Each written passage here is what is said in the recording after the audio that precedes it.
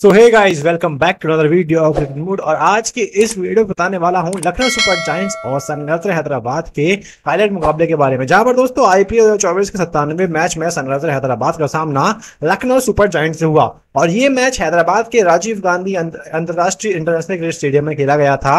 और टॉस जीत के पहले बल्लेबाजी करते हुए लखनऊ ने 20 ओवर में चार विकेट गवाकर एक रन बनाए थे। तो वहीं जवाब में हैदराबाद ने दो दशमलव चार ओवर में 10 विकेट रहते इस लक्ष्य को हासिल कर लिया। जहाँ पर सनराइजर हैदराबाद ने लखनऊ सुपर जायंट्स को 10 विकेट हरा दिया है और टॉस जीत के पहले बल्लेबाजी करते हुए लखनऊ सुपर जायंट्स ने 20 ओवर में चार विकेट गवाकर एक रन बनाए थे। और एक सौ सड़सठ रन के लक्ष्य को हैदराबाद की टीम ने 10 ओवर के अंदर यानी नौ दशमलव चार ओवर में ही हासिल कर लिया। और हैदराबाद ने बासठ गेंद से इस रहते मैच जीत लिया और ट्रेविस हेड ने 30 गेंदों में आठ चौके और आठ छक्के की मदद से 89 रन और अभिषेक शर्मा ने 28 गेंदों में आठ चौके और छह छक्के की मदद से पिछहत्तर रन की नाबाद पारी खेली और अभिषेक के छक्के के साथ ये मैच खत्म हो गया। तो वहीं दोस्तों, इस जीत के साथ हैदराबाद की टीम अंक तालिका में तीसरे स्थान पर आ चुकी है और उसके 12 मैचों में से सात जीते हैं और पाँच हार के साथ चौदह अंक हैं। तो वहीं हैदराबाद का नेट रन रेट 0.406 है। वहीं लखनऊ की ये बारहवें मैच में छठी हार है और वो 12 अंक से minus zero point seven six nine के नेट रन रेट के साथ